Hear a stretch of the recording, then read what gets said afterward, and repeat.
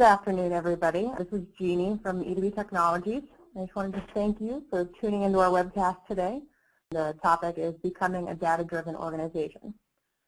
So today our presenter, who I'll introduce in a moment, will be talking to you guys about becoming a data-driven organization. So, but first off, what does that mean? A data-driven organization is an organization that does not rely on its gut for decisions. You make an informed decision based on real-time insight. So in short, it's a company that manages their business proactively, not reactively, which sounds great, right? So how do you do that for your organization? Well, that's exactly what our presenter will be talking about today. So with no further ado, I have with me today Craig Vivier of Vineyard Software, the provider of Knowledge Sync, which is a leading solution for business activity monitoring. Craig has over 25 years of experience in the software industry with an emphasis on enterprise solutions and operational management implementation. So you guys are in very good hands for the next few minutes here. So with all of that being said, I'm going to pass over to you, Craig, whenever you're ready. Welcome, folks, and thank you very much for taking time out of your schedule this afternoon to spend with us. And again, thanks to the folks at E2B Teknologies for hosting uh, this afternoon's webinar.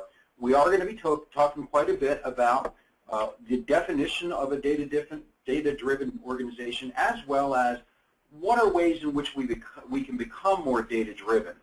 So I usually start with the somewhat uh, rhetorical question of, have you ever, during the course of your day-to-day -day business activities, said to yourself, if only I had known, if only I had known that this customer owed us money, I would never have processed this new order for them. If only I had known that this particular inventory item was out of stock, I would have reordered this so that we could fulfill all these orders today. So the topic or the theme of if only I had known is central to becoming a data-driven organization. And when we talk about the, the definition of a data-driven organization, it truly is just that. It's using the data that we have from day-to-day -day transactions, whether it's in an ERP system, a CRM application, an HR database, or any of the other various systems that we use to retain our, our company and organizational information. All of that can be turned into meaningful information and subsequently pushed out to your constituents, your employees, your customers, your vendors, suppliers, etc., so that they can help and assist in making timely, intelligent decisions about your organization. And the way that we currently see a lot of organizations doing um, uh, becoming data-driven is it's usually by gut feel. Okay, a lot of times, mostly small, medium-sized enterprises tend to run on gut feel instinct, if you will, to make decisions about their business. That is, this is the way that it's done in the past, this is the way that it's worked, this is the way that we're going to do it going forward. There's not, not nothing terribly wrong with that, but certainly we can find ways to fine-tune this decision-making so that we're having a serious impact on our company's bottom line and top line growth. All right, so what we often find is the major challenge is well, I have all this data. I'm running an ERP application. I'm running a CRM application. Maybe I've got some other third-party vertical solutions or homegrown applications that I use. And it contains a lot of data. So again, the challenge is how do we take that data, turn it into meaningful information that can be, again, used by you and your constitu constituents, and again, pushed out to them, delivered to them, if you will. So the key challenge is giving your data a voice. What is it that you want your data to tell me? And some of the examples that we see across multiple organizations and using different applications is, hey, I want to know when my inventory, a particular inventory item is running low on stock and needs to be reordered. Or subsequently, I want to know if I've got inventory that's been sitting in my warehouses too long, collecting dust and eating up valuable cash. Also looking at things like a customer customer's credit limit. We processed an order for a customer who has exceeded their credit limit. I'd like to know these things as they're occurring, okay? So the idea is how do we take that data, identify what's important to you, your organization, and give that data a voice so it speaks to you, it speaks to your constituents, again, your employees, your customers, vendors, prospects, etc.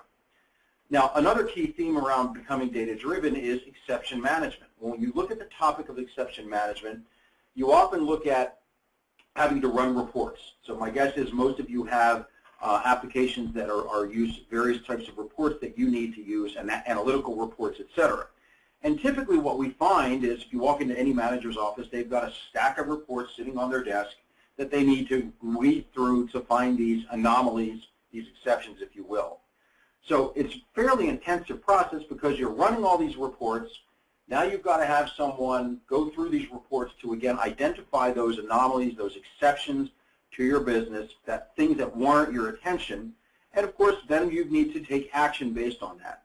Now that's all well and good, and there's a place for that. However, that's, that's very much a rear view mirror approach to business activity management, if you will, okay? Because now you're looking in the mirror saying, well, my goodness, we found out about this, but by the time we found out, it was too late, okay? We had passed that, that exit, if you will.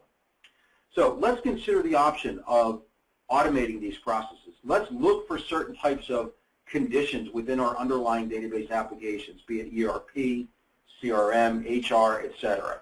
Let's identify those that are important to us. Let's automatically alert and notify those people that need to be aware of those issues so again, they can act on them quickly and timely.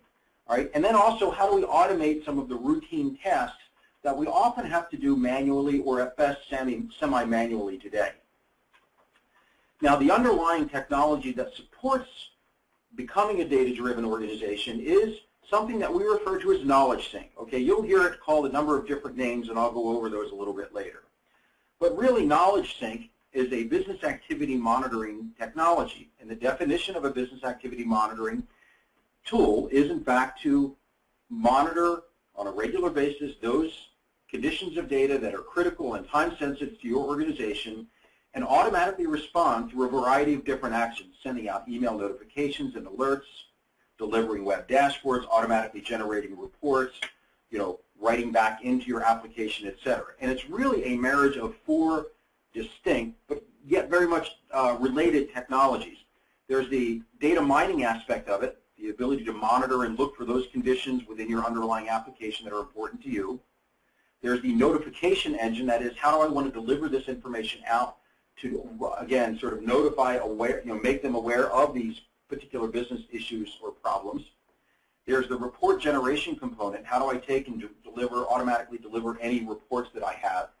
And then finally is this concept of workflow, which is in our um, definition of that is a little bit different than you might be used to hearing, but it's typically the idea of automatically performing actions like writing data back into your database application, moving data, for instance, from, say, your ERP to your CRM application, et cetera. So let's take a look at an example and this is actually an example from an ERP customer where they were had a, a number of very good paying customers that were paying on time in full, but they were starting to notice a trend. If at the end of every month they were running their AR reports, and they started to notice that several customers had built up a fairly significant um, receivables. And this was a bit of an issue for them because this was several years ago when economically things were looking tough for a lot of us. So what ended up happening was they had a fairly uh, they were continuing to sell into these these customers owed them $10,000, $15,000, $25,000. They didn't find out about it too late, and unfortunately in two instances they had to write off a significant amount of debt, as in these cases two of their customers ended up shuttering their doors. Right? Again, how do we actually take just this one scenario and automate this process to preemptively attack this issue or potential issue before it even occurs? So what we did with the Knowledge Sync solution is we set it up so that it would automatically notify the account manager responsible for the customer as their receivables were coming up for payment. So before it hit net 30 or net 60, it was notifying the account manager to say, hey, your customer owes money, please get on the phone with them or bring it up during your next meeting with them, etc.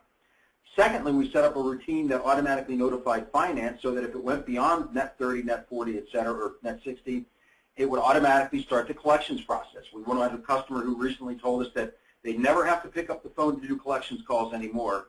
They're using Knowledge Sync to do it for them. Thirdly is, we went so far as to automatically send out any open invoices uh, and AR aging reports to that customer, as again, as a gentle reminder, we now, you owe us this money, we'd like to settle this out, here's who you contact, et cetera, et cetera. And then finally, we put a workflow routine in that basically when a customer hit a certain dollar value or when they exceeded or hit their credit limit, we wanted to put them automatically using Knowledge Sync on credit hold or credit watch. And again, all of this was done with the Knowledge Sync Alerts and Workflow solution. Now, for some of you folks, you might have heard this under a different name. The generic technology is referred to as Knowledge Sync. If you're a Sage customer, you might be familiar with this as Sage Knowledge Sync or even Sage Alerts and Workflow. If you're using other applications, we actually embed this with other applications as well. So you might hear about this Knowledge Sync application under a different name. But for today, we'll go ahead and use the generic Knowledge Sync name. So at its core, at its base, if you will, it is a monitoring and response engine. You tell Knowledge Sync what application or applications you want it to monitor, okay, and it will support and monitor any database application that's using what's called an ODBC compliant database. So whether your backend database is Microsoft SQL Server, Oracle, Sybase, Microsoft Access, Providex, Pervasive, Paradox, you name it, Knowledge Sync is going to be able to monitor and respond to any conditions within those backend databases.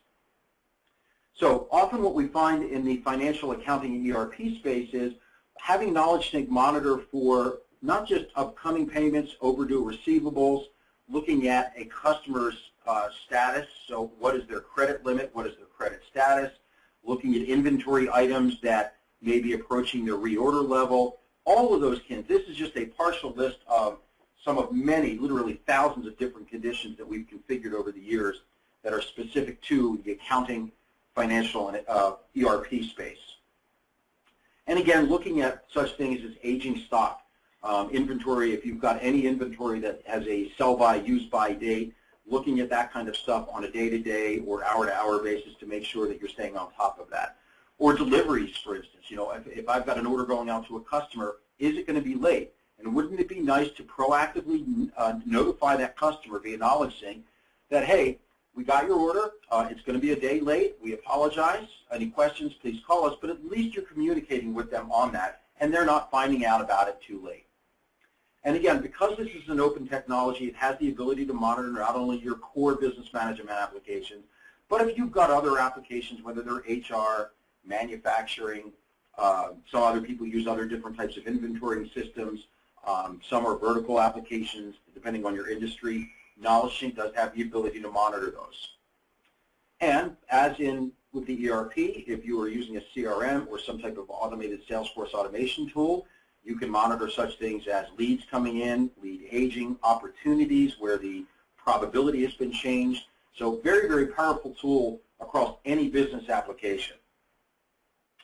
One of the other cool features of Knowledge Sync is its ability to not only monitor and respond to conditions within your underlying database applications, but to monitor and respond to the incoming email. So if you've got those generic email addresses like the sales at or the info at, and you're relying on that through your website, you can use Knowledge Sync to monitor, automatically monitor incoming email being sent to specific email addresses and or web form submissions, and as a result, Knowledge Sync will automatically send out notifications routed to the appropriate person, your organization. It can auto-respond to the sender with the information that they've requested. You can pull that data into your CRM or your ERP application. A lot of different ways you can use this, what we refer to as the email response system. And again, we do have a number of customers that are using what we would refer to as a, an enterprise-wide or a cross-application implementation of the Knowledge Sync tool, where they're comparing data between two different applications. And the example that you'll see here is, I want to look at my CRM application to see if I've got any new sales, uh, new open opportunities. And then I want to look for that customer's opportunity, and I want to compare that with the same customer's financial history in my ERP application because I want to know, is this going to put them over my credit limit? So this is one of many examples of how knowledge sync can be used to, again, kind of go across the enterprise, across multiple applications to monitor and compare data between them. So in terms of delivery methods, um, there are numerous. Okay, You'll see down below in the bottom part of the screen, we support delivery through email, and that includes all email systems, including Microsoft Exchange, Outlook, hosted or on-premise uh, SMTP mail, including some of the free SMTP services like Gmail, Hotmail, Yahoo Mail, etc. Um, so we support all email platforms, including some of the earlier legacy systems like Lotus Notes and even G, uh, GroupWise. Text messaging is becoming big because we've got a very, you know, sort of mobile workforce out there. We've got people traveling. We want to deliver the information to them there. web dashboard. You can deliver Twitter, Instant Messenger, okay? And you'll see these are just a couple of examples of what we refer to as a web dashboard. So it's displaying the information to your recipients in a dynamic web page, and it will self-refresh every time that event has been identified by the Knowledge Sync solution. One of the key areas of the Knowledge Sync and one of the key components functionally is its reporting component. If you are at all reliant on Crystal reports, you need to take a look at Knowledge Sync. And I know that sounds rather salesy, but this is a very, very powerful tool or component of the Knowledge Sync technology. Knowledge Sync includes a Crystal Reports runtime engine. So if you have any Crystal reports that you're running, you can use Knowledge Sync to auto-generate and distribute those reports on either a triggered basis and or a scheduled basis, meaning if Knowledge Sync identifies a certain condition or set of conditions within your underlying application, you might want to automatically have not only send out an alert notification, but you might want to attach a Crystal report to that, whether it's an invoice or an AR aging report or any of those kinds of things.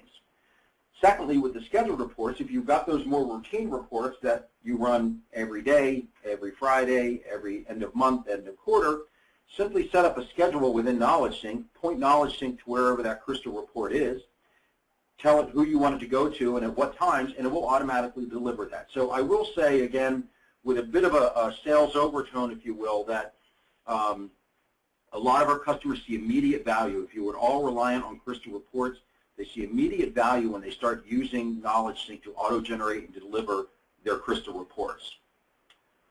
And then finally, the component that we talked about was this workflow piece, and that is the idea of taking further action. So once an event or a condition or set of conditions has been identified by Knowledge Sync within your underlying application, you've sent out not alert notifications, you've generated reports, dashboards, etc. Now what do you want to do? I may want to put a customer on credit hold. For instance, the example I used earlier. Right, that was the uh, that was an idea of, or that was a uh, a routine, a workflow routine where when Knowledge Sync identified a customer as having reached or exceeded their credit limit, not only did it send out a notification to the customer, but it automatically wrote back into the ERP system to put that customer on credit hold. So that would be an idea or an example of a workflow routine. Now the licensing and pricing very, very gently priced, if you will.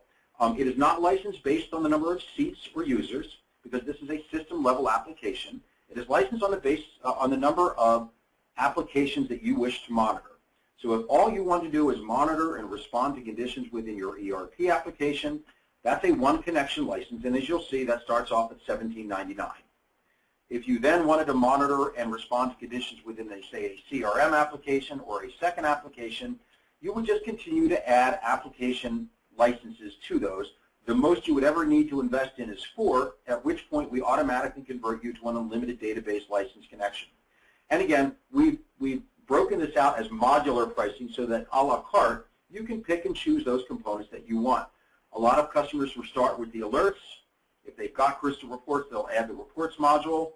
They may not have any interest in doing any sort of work, workflow or action, so they just eliminate that piece. So we try to make this as um, this licensing schema as simple as possible for our customers. So what I'm going to do, since we've only got a few minutes left, is I do want to walk into the application or walk you through the application. So I'm going to bring it up right now. Again, Knowledge Sync is not a user-based application. It's not something that you're going to roll out to three or five or ten people in your organization. Typically, you're going to have one or two people that do the initial setup and configuration of the Knowledge Sync application, and the idea behind this is it's a lights out application. It runs in the background as a what's called a Windows service. So it's going to do what you want it to do. And the first way that you do that is you set up your different what we call events. And events is just a fancy way of saying business conditions or business issues. So when I open up my Knowledge Sync Event Manager, you'll notice that this is where I'm going to probably end up doing most of my upfront work. But the idea behind it is you tell Knowledge which applications or ap application or applications you want it to monitor, what conditions or set of conditions you wish to monitor within those applications, and subsequently how you want Knowledge to respond once those conditions have been met or not met, as the case may be. So as a result, it's a lights out. It's, it's often been referred to as my invisible assistant or my extra employee uh, or my smoke detector for my business. It's been given many different names over the years. But you'll notice that when I set up and open up my events branch, I have about 10 different applications that I'm having monitored by KnowledgeSync as we speak. I've got an ERP application, okay? I've got an HR application, I've got a CRM, I've got two branches that are linking those two together, okay? So each and every one of these is a separate monitoring link, if you will. But if I go in right now, and I'll just go into my ERP branch, when I open up my ERP branch, it's going to give me a list of all of the events that I currently have configured. Now, there is no limit to number or types of conditions or events, as we call them, that you can monitor within your application using Knowledge KnowledgeSync. I have heard people go well over 700. I've heard people using just few as few as one or two events. But you'll notice that when you look at this screen, I have a whole bunch of different events already configured to be that are being monitored within this ERP application. I have a number that are related to account information, balances. I have a number that you'll see are labeled AP, so those are all my accounts payable type conditions that I'm monitoring. And of course, I've got a number that are related to accounts receivable. I want to look for overdue invoices. I want to look for balances that are in excess of X amount. Again, very, very flexible in terms of what you can monitor based on different parameters, based on date thresholds, things like that. And you'll notice as I scroll down, I have a number that are related to inventory, items that are available, items that are available in different warehouses, et cetera. And then I continue down and I've got some that are related to purchase orders and sales orders. So when I look at a specific condition or event, okay, I'm actually going to go in and look at, oh, overdue. Let's look at this one. Okay, so I have a one event that's an accounts receivable event looking for any overdue invoices that are greater than $2,500. Now, when I open up this event, I have five components that can make up this event. I have at the top what's called the schedule. That is, how often do I want KnowledgeSync to look for this condition within my underlying database? Every minute, every five minutes, every day at a certain time. You've got complete control over the schedule. The second component is the query. Okay, we won't have time to get into this today, but I do encourage you to ask questions or follow up with us on this. But this is KnowledgeSync's way to interrogate your underlying database to look for not only the triggering mechanism, that is which condition or conditions do, am I looking for, but also to retrieve the unique information within your application so that it can be made available in an outgoing email notification alert, in a web dashboard, a report, etc. So this is the underlying query. So it's kind of the engine under the hood, if you will. The deliverables can be as numerous or as few as you'd like. I'm sending out email in this case. I'm sending out a page or a text, SMS. I'm sending out an instant messenger. I'm auto-generating a report in this particular case. And I'm even, doing a little bit of a workflow in that I'm creating an external file that I might, might want to push to another application. Fourth component of an event are the subscribers. Who are my recipients? Who do I want to deliver this to and in what format? I personally prefer text messages and web dashboards and sometimes email. Um, you know, I've got our folks in finance here that really like to get things via fax. They're still very heavy on the fax and document side. So again, you can have a limited number of subscribers or recipients as part of your event. And those can be internal, external, they can be distribution lists, they can be groups or departments. It's entirely up to you.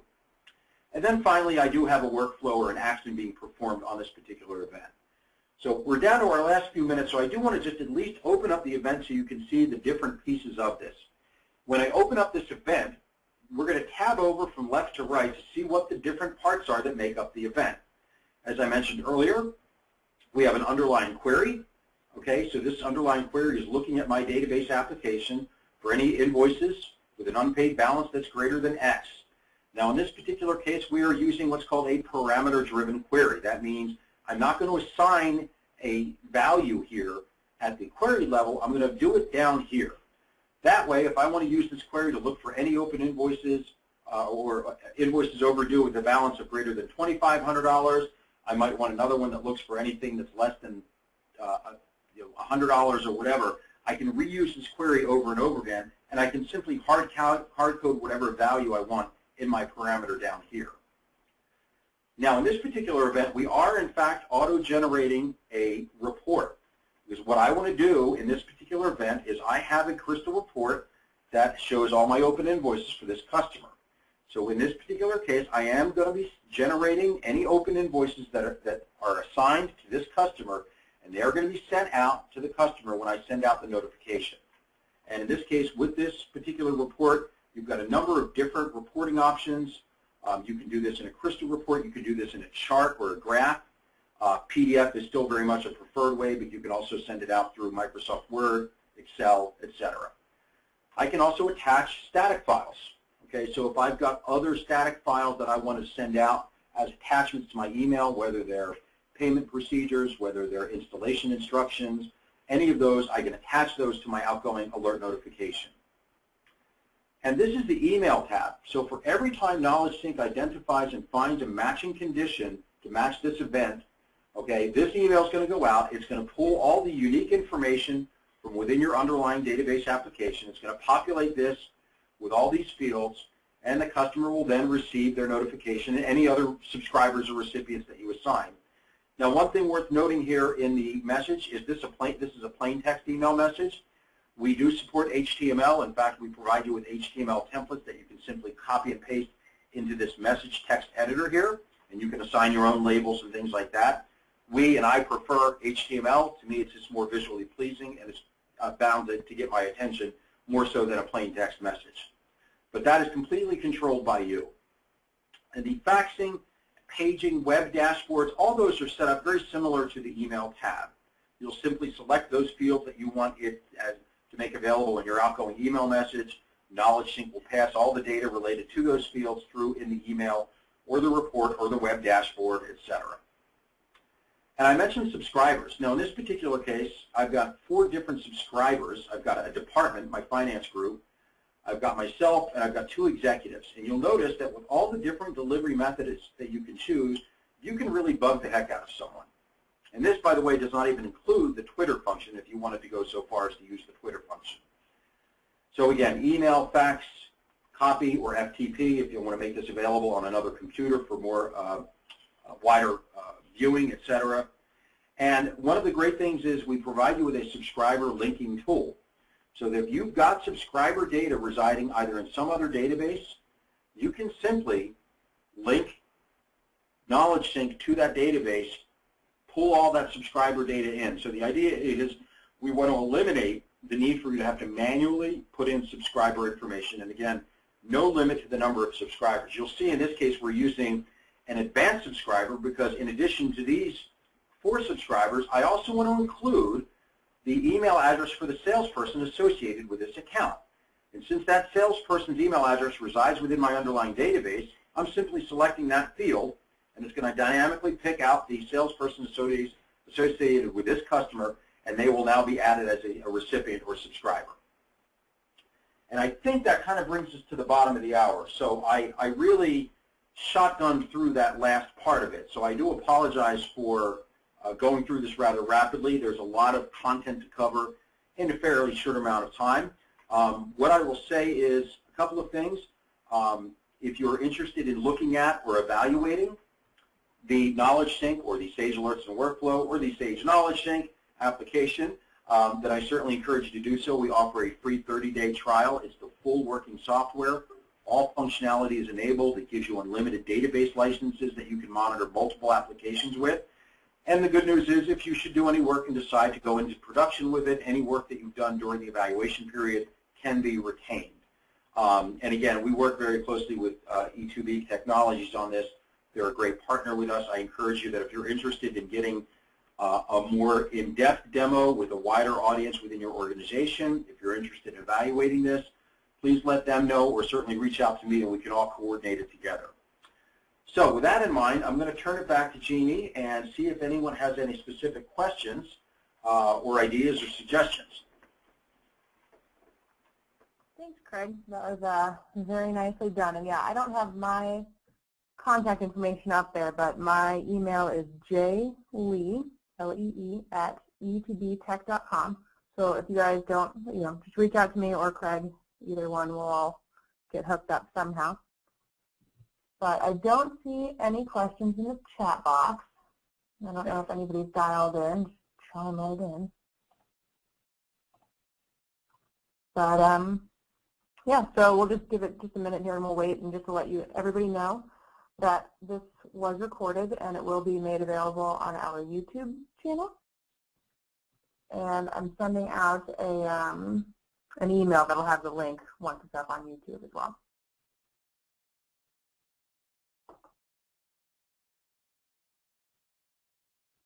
But not seeing any questions here, Craig. Okay, well, uh, if that's the case, any questions that come up afterwards, um, again, feel free to reach out to Jeannie. Um, she'll communicate with me if there are any questions or if there's things that you want to look at in more detail. But again, um, I want to thank you folks for showing up this afternoon and taking time out of your busy schedules, and certainly thanks to Jeannie and the rest of the folks at uh, E2B Teknologies. We appreciate that. You're welcome. Thank you for spending some time with us. So, okay, well, we'll talk to you guys all soon. Okay, bye-bye.